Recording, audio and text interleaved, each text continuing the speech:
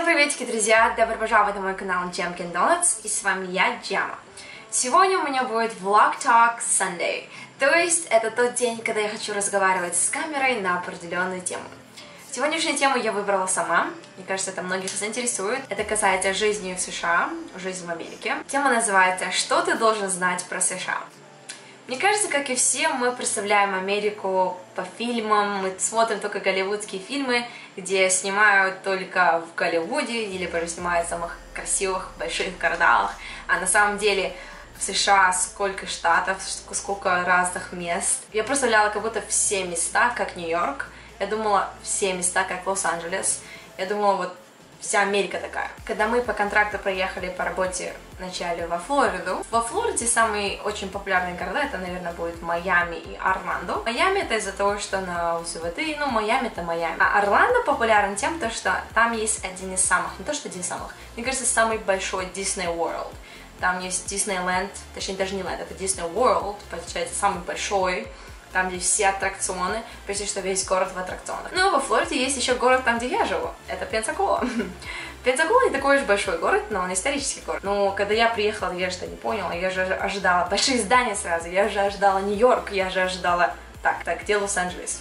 Где большие высокие пальмы?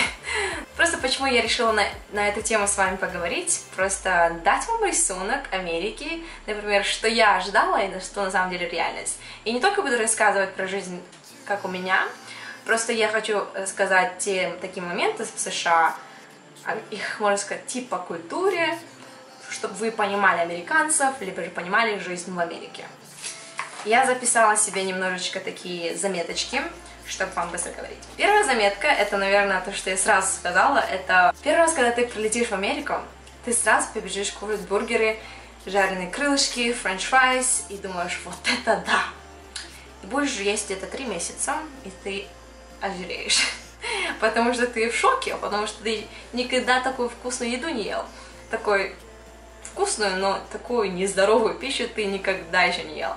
Мне кажется, в Америке как раз таки из-за этого, кстати, это их номер один проблема Америки, то что ожирение это их номер один проблема. То, что из-за вот этих фастфудов они просто полнеют. И иногда просто нельзя отказаться от этой еды. Еда это один из наркотиков, знаете, что можно просто с ума сойти и просто... Да, у нас было такое дело, что вы можете наши фотографии посмотреть. Да, было дело. Мне лично очень понравилось это жареные крылышки. И вот пожарили мне, получается, вот скушаю я с кетчупом. М-м, какая вкуснятина, ребят. Если честно, надоело потом. Ну, конечно, я поняла, что я пополнела на несколько килограмм щечки появились, и думала, ах, Америка. Ну и перестала кушать.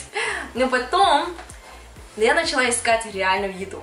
Знаете, что случилось? Я не смогла найти. Не во всех больших магазинах есть нормальная, натуральная, органическая, точнее, органик, как бы продукты.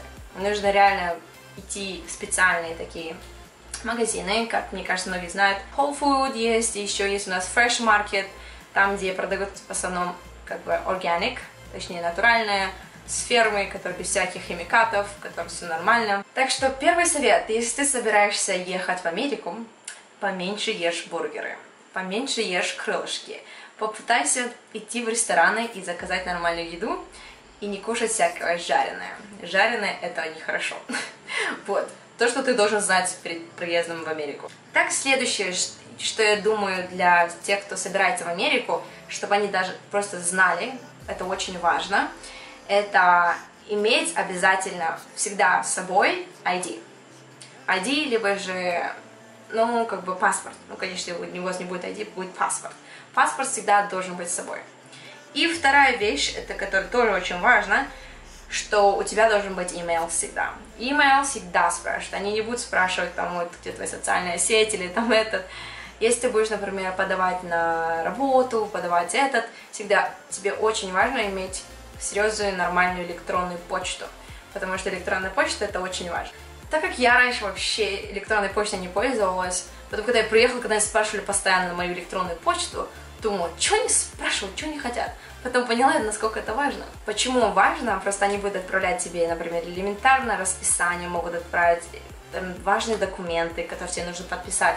Это все идет на электронную почту, так что электронная почта очень важна. Еще одна вещь, которую, я думаю, должен каждый знать, если ты начал жить, либо собираешься жить в Америке, это очень важно иметь кредитную карту. Как начать строить твою кредитную историю? Кредитная история здесь в Америке очень важна. Например, если ты хочешь купить дом, если хочешь купить машину, они будут смотреть, какая у тебя кредитная история. Кредитная история означает, например, ты вот взял на кредит что-то, да, и по кредитной истории ты можешь знать, ты вовремя платил, либо же опаздывал, и по этому расчету они могут знать, насколько ты ответственный, и поэтому у тебя там будет целый скор, то есть point, или как там можно сказать, сколько у тебя очков, насколько ты платишь нормально вовремя, насколько ты ответственный человек, насколько у тебя постоянно ты платеж, платеж идет. И поэтому они могут посмотреть на это и потом тебе дать что-то в кредит они могут взять и дать кредит, знаете. Поэтому очень важно, э, например, завести кредитную карточку и начать уже работать над своей кредитной карточкой. Конечно, не, не обязательно тратить, но иметь кредитную карточку, чтобы у тебя была история. Если в будущем, например, захочешь взять кредит на учебу, а что большую сумму, чтобы дали тебе кредит, у тебя должна быть хорошая кредитная история. То есть должна быть история того, то, что ты вовремя что-то платила, что у тебя достаточно денег что-то платить. И, короче, все вот это вот очень важно, чтобы в дальнейшем жить в Америке. Потому что кредитная история одна из самых важных. Еще одна вещь, которую я думаю, это очень важно. Иметь medical insurance, то есть медицинскую страховку. Ребят, здесь что-что, хоть умри, будет очень дорого. У тебя очень, как бы, такая ситуация, скорая помощь нужна, будет дорого тебе лучше в скорую помощь вообще не идти, если у тебя нет медицинской страховки. Лучше вообще не болеть, если у тебя медицинской страховки нет. Во-первых, медицинская страховка здесь очень дорогая. Конечно, можно найти, например, если ты мало зарабатываешь, можно по, твоим, по твоей зарплате как-то подобрать такой, типа, тип-тип медицинской страховки, да? Вот так тоже можно. Но а так это всегда все дорого, конечно. И здесь, например, ты парацетамол или там аспирин или такой антибиотики просто так не купишь. Конечно, можно заказать в русских магазинах в Нью-Йорке или в Калифорнии твой любимый парацетамол. Конечно, можно онлайн даже заказать. Но а так здесь просто так не купишь. Ни, нигде не продается. И, например, ты заболел, ты вот антибиотики нельзя взять купить. Там, конечно, есть, я помню, когда Первый месяц, когда мы прилетели сюда, мы, получается, жили со всеми студентами, и Алина очень сильно заболела. И мы думали, так, она болеет, у нее температура, что будем делать? Хорошо, что мы с Виталиком, с моим мужем познакомились в то время, и Виталик нам помог найти много чего, и он нам подобрал даже таблетки, которые нужно пить.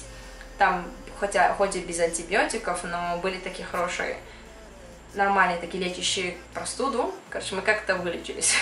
вот, но просто хочу сказать, если у тебя нет страховки, то очень дорого.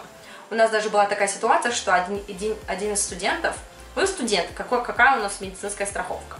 Вроде бы по контракту говорили, что у нас типа есть страховка, но на самом деле не было, ну, непонятно, короче. В общем, этот мальчик до такой степени заработался, что прям без всяких выходных просто вот 10 часов в день просто с ума сходил, работал, а он еще готовил, он был поваром.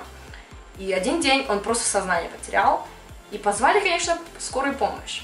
Кстати, хочу вам сказать, если в Америке ты зовешь скорую помощь, не только скорая помощь придет, за этой машиной пойдет пожарная, точнее пожарная, мне кажется, первая приезжает вначале, а потом уже медицинская помощь. Короче, там такие, такой ажиотаж, три машины аж прям ради одного человека. Вот, из-за этого, мне кажется, это тоже дорого стоит, потому что тебе нужно платить за пожарных, которые потратили время, к тебе приехали.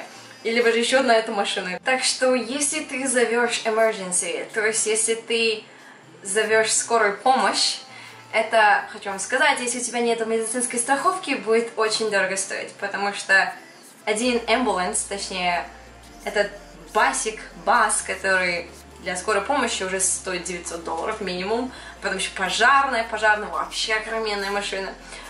Так что, если ты зовешь без медицинской страховки скорую помощь, будешь платить всю жизнь, такая, шучу. Но, в общем, просто хочу сказать, что дорого. Типа, лучше иметь медицинскую страховку здесь, это очень важно, иметь медицинскую страховку. Здесь что круто, например, если ты, с тобой что-то случилось, например, с тобой случилось что-то со здоровьем, ты не знаю, кто-то тебя бьет, муж бьет или там что-то такое, или же ты застряла где-то, тебе нужно спасать, на это есть только один номер, это 911, который очень важен, который ты должен просто запомнить. То есть, если что-то происходит, конечно, сразу же набрать 911. 911 все. Тебе получается все, пом все помогут по всем жизненным ситуациям. 911 и все. Так, как развить свой английский язык? Например, скажем, вы приехали в Америку жить на несколько месяцев, либо же вообще реально жить-жить, да? И, например, если хочешь ты развить английский, это очень-очень важно завести американца друга, либо америк... просто как бы разговаривать побольше с американцами. Просто у многих, мне кажется, здесь бывает такое, что... Просто я встречала таких людей, которые уже столько лет живут в Америке, но английский все еще не до такой степени идеальный, что они, конечно, понимают всякое такое, но они не до такой степени идеальном уровне английского. Это чисто из-за того, что они никогда не покидали свою комфортную зону. Комфортная зона. Good question. Это означает, что, например, ты общаешься с американцами, но ты относишься к ним просто как к американцам, а больше всего, конечно, хочется, хочется поддержать свой как бы русский постоянно, и ты только с, среди русских, только с русскими встречаешься. Как бы ты таким образом не будешь развивать свой английский. Это ты никогда не поймешь, как на самом деле жить в Америке. Во-первых, американцы, если у тебя будет друг американец, он тебе поделится с его видением на жизнь, как он видит Америку. А не так, как ты только приехал и ты ненавидишь Америку, потому что ты такой патриот, ты любишь свою родину. Мне кажется, это очень важно завести друга американца, что видеть эту Америку глазами американца чуть-чуть. Просто, знаете, вот делиться мнениями. Так что, если ты живешь в Америке, я хочу посоветовать тебе сделать шаг вперед, выйти из комфортной зоны и немножко, как бы, немножко, как бы, разнообразить свой английский. Общайся с американцами побольше, заведи друзей, попытайся их понять, сделай себе такой челлендж, то есть сделай себе вызов, то, что ты такой, как там, Даша, как же ее звали, мультик? Даша Первооткрыватель, или как же ее звали? В общем, ты просто хочешь узнать что-то что новое, и просто сделай себе такое задание. Так, я хочу побольше узнать про американцев. И мне кажется, таким образом ты, во-первых, поймешь, что за на самом деле культура американцев. Не то, что глазами человека с другой стороны, а именно вот вникнуть их культуру и понять, что происходит. И следующий пункт, который я добавила сюда, это когда вы приедете в Америку, у них есть такая, можно сказать, культура, либо же вид поведения, это постоянно тебе улыбаться и фейково, фальшиво улыбаться, постоянно улыбаться. Да-да-да-да, ты такая красивая. Ой, мне нравится так, нравятся твои туфельки. Ой, мне так нравится твоя сумочка. Ой, where did you get this? Где ты взяла твою сумочку? Конечно, это не касается Нью-Йорка, я, короче, в прошлом году была в Нью-Йорке. Не знаю, у нас во Флориде, здесь я живу, здесь очень все вежливые. Они все вежливые, такие постоянно улыбаются. Если улыбнешься, они тоже улыбнутся тебе обратно, знаете. Они посмотрят тебя, типа, что улыбаешься? Они будут тебе говорить так. Здесь все дружные, типа, ну просто это вежливость. Такая фальшивая вежливость. Как сказать, вежливость, но фальшивая. Вот такое. А вот в Нью-Йорке, так как она большой город, и им уже все равно быть вежливым или невежливым. Так что в прошлом году, когда мы сидели в кафе или в ресторане, я не помню, единственный человек, который постоянно говорил thank you, была я. Да. Я была, наверное, самая вежливая. Я такая говорю, здравствуйте, спасибо большое. Я постоянно этой официантке говорила, спасибо, ты такая классная. А эта официантка даже не, не, не мигнула вообще. Она такая, окей, окей. Я такая думаю, вот это грубиянка. Потом Алина говорит, сразу видно, то, что ты не с Нью-Йорка. Я говорю, а чё? Я просто вежливая. И все, пытаюсь быть nice. И все. Но потом я поняла, что просто в Нью-Йорке, мне кажется, до такой степени жизнь в темпе, и им уже все равно быть nice или не nice. Все берут то, что хотят, быстро, шустро, и им не надо тратить время быть вежливым. Так что я насчет Нью-Йорка, наверное, сделаю исключение. А так, американцы в основном очень вежливые. Они постоянно улыбаются. Еще одна вещь, которую ты должен знать, живя в Америке, либо же если собираешься жить в Америке, если ты собираешься приехать, то что полиция твой лучший друг. Полиция всегда тебе поможет. Не знаю, я здесь в Америке чувствую с полицией до такой степени безопасности, что вот прям Я обожаю полицию. Во-первых, я их уважаю, потому что они не коррупционеры, это раз. Потому что они не берут взятки. Они всегда тебе помогут, хоть по каким, не знаю, хоть по каким вопросам. Всегда они тебе помогут. Даже когда зовешь, например, emergency, скорую помощь, иногда бывает, что полиция приезжает даже. Если какая-то реально большая проблема, даже полиция может приехать. Так, следующий очень важный пункт, который, мне кажется, тебе очень важно знать, если ты собираешься приехать в Америку. Например, какой штат выбрать жить. Это очень важно, потому что в каждом штате есть свои правила. В каждом штате есть свои э, таксы, точнее, свои, как там, налоги. И налоги могут быть высокие конкретно, как Калифорния, как Нью-Йорк. А у них действительно очень высокие таксы. Один высокий, наверное, это Калифорния, потому, потому что у них, наверное, 9%. И просто если хочешь спросить, где, типа, где дешево жить, Наверное, есть очень много штатов, один из них там, где я живу, такая. На будущее, может, перееду в Калифорнию, именно в Л.А. или в Сан-Франциско. Если у тебя мечта большая, и ты хочешь реально это достичь, я бы, конечно, сразу выбрала большие города. Потому что большие города, это, мне кажется, будет большой вызов тебе, как, выж... как, как выживать, и ты на самом деле поймешь, как ты будешь выживать. Просто есть столько, например, людей я встречала, которые вот приезжали в Америку, в Америку и начали жить, начали жить в большом городе, как чуть-чуть маленькие трудности, просто сдавались и обратно ехали домой. Или же просто, если ты реально хочешь жить в Америке, если ты хочешь реально развивать как личность, не только как или иммигрант, или же не только как студент в Америке, а именно если хочешь вот жить-жить в Америке, мне кажется, это очень важно, что это все зависит от тебя.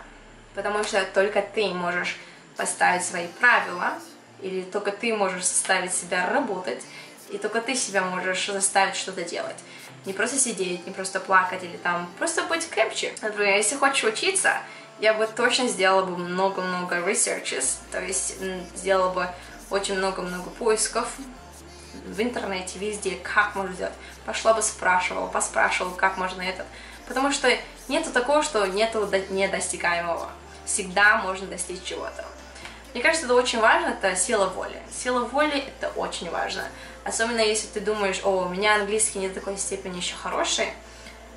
Английский будет без проблем потом. Это не проблема. Мне кажется, проблема этого будет в тебе, то что ты говоришь себе это, и ты не стараешься развивать свой английский. И или же там, ой, у меня этот... У всех есть отмазки, у всех есть отмазки.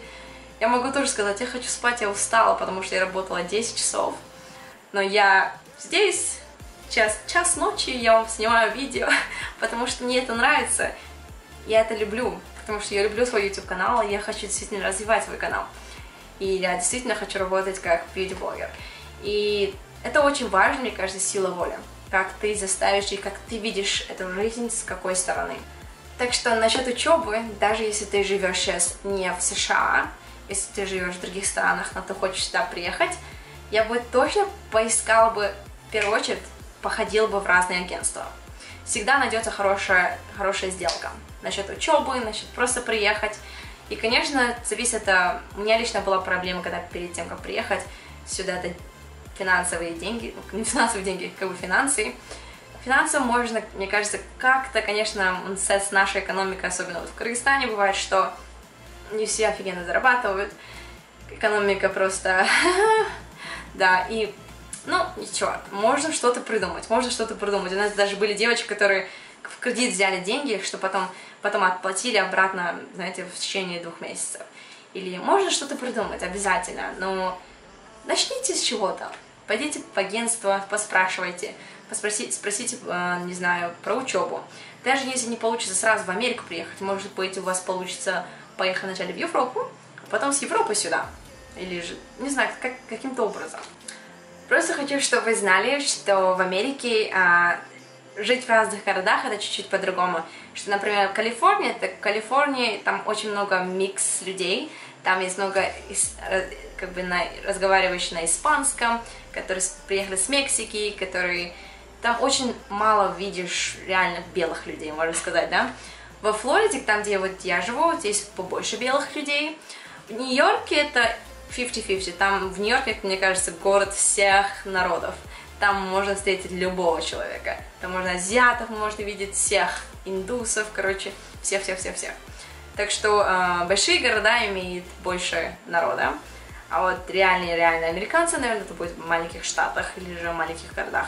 Еще одна вещь, что, мы, что я заметила после того, как я сюда приехала, что я, для меня было это открытие. Я, конечно, знала это, но так, потом я поняла, на самом, что это на самом деле означает. Я говорю про акцент. Я думала, какой акцент, о чем вы разговариваете, о чем вы говорите? Вы, наверное, у вас, наверное, то же самое было. Например, я с 1 по 5 класса, у меня были книжки на английском, и они были британские английские. И я учила британский.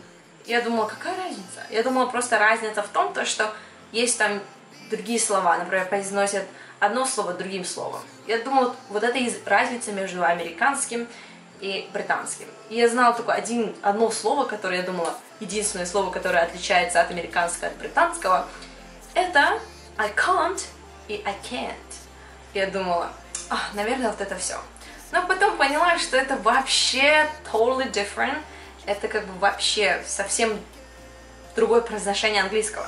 Те же слова, но британцы а, произносят английский по-другому. Иногда бывает у меня, что я встречу британцев, я понимаю, что они не американцы. Я говорю, откуда ты? И их можно понять, что у них британские, у них вот по-другому, даже они как-то делают, would you like a cup of tea? I can't, I'm sorry. I'm sorry. Would you like a cup of tea? Они, не знаю, просто рот делает такой, и они разговаривают так. А как американцы разговаривают? Hey, how's going? Like, what's going on? Like, like, Короче, они больше мягче разговаривают. О, мне смешно от себя. В общем, но раньше, если мы знали британский и американский акцент, есть еще несколько других акцентов. Австралийский и канадский. Канадский я еще, знаете, у меня бывают трудности, что я думаю, эх, я не знаю, как канадцы разговаривают, но, может быть, я пойму. Я британский сразу вы, как бы вычисляю, о, ты из Британии, либо же просто Великобритании. Скотланд, Шотландия, может быть, короче, с Великобританией. А вот с Австралией я начала различать после того, как я начала смотреть мою бьюти-блогершу, ее зовут Венджи. Я ее смотрю, она австралийка. И у нее английский совсем другой. И из-за нее я начала понимать, что такое австралийский акцент. Они, они тоже по-другому разговаривают. Не знаю, я даже не знаю, я даже не, не смогу это произнести. Ну, в общем, еще одно открытие, и что вы должны знать, может быть, вы уже знаете это, я, может быть, была такая... Ну, короче, что есть, амери... как те же слова на английском, что американцы произносят по-другому, есть, что британцы произносят по-другому, австралийцы и канадцы, ну, короче, всякое такое. Я что еще написала? Ого-го, я, оказывается, забыла еще вам сказать. Есть еще такой акцент, я называю ее черный акцент. Черный английский я просто хотела подчеркнуть, у них вообще английский другой конечно, не подумаешь, что российская, но у них реально английский совсем другой. Они вот приходят иногда, говорят, а, сделай мне вот это, вот это. И они так съедают, вот съедают вот я думаю, что ты говоришь? Я говорю, можешь разделить каждое слово, и я тебя пойму. Но я не знаю, они вот, вот съедают такое. Можете, мне кажется, черный английский, такой черный акцент, да, черный акцент, вы можете услышать во многих песнях рэперов. Короче, во многих хип-хоп, рэп муз в музыке, да, там черный английский, и вы можете понять, как они разговаривают. Но вы должны знать, что не все американцы так разговаривают. Еще один есть английский акцент, который я вычислила только здесь, только во Флориде, мне кажется, здесь на юге, да, типа разговаривают. Это люди реднеки. И вы наверняка подумаете, о чем ты говоришь. Я тоже не знала, ребята, я тоже не знала, кто такой реднеки. Но я теперь знаю по крайней мере, знаю их акцент. Реднеки, не только реднеки, все, которые южные американцы, разговаривают на английском чуть-чуть тоже по-другому. И у них есть такой южный акцент. И у них английский чуть-чуть ломается. Например, how you all, они произносят how y'all, what's up girl, young. Ну, не знаю, как-то странно разговаривать, такой ня-ня. Или, не знаю, не так смешно, это значит акцент он говорит. Тот же английский просто произносят. О, кстати, это то же самое. Я с юга. Я разговариваю на кыргызском чуть-чуть таким уклонами, да? И это то же самое. Здесь тоже такое же есть. На этом все, ребята. Я просто чуть-чуть решила сделать, поговорить об этом, то, что просто пришло мне бум. Я решила сделать ноут и с вами поделиться. И если у вас еще будут вопросы, напишите мне внизу в комментариях. Я обязательно отвечу. Либо же, если у вас есть такая какая-нибудь тема, не обязательно должно быть про жизнь США, что-то другое. Можете даже про отношения или про какой, про жизнь, не знаю, на любую тему напишите мне на комментариях, а я обязательно сделаю видео. Так что на этом все, ребята. Я пошла спать. Уже час ночи. Спасибо огромное, что посмотрели видео до конца. Мне это очень-очень важно. Так что мы увидимся с вами в четверг с моим новым видео. Так что stay tuned. вот, ребята, увидимся на следующем видео. Пока-пока.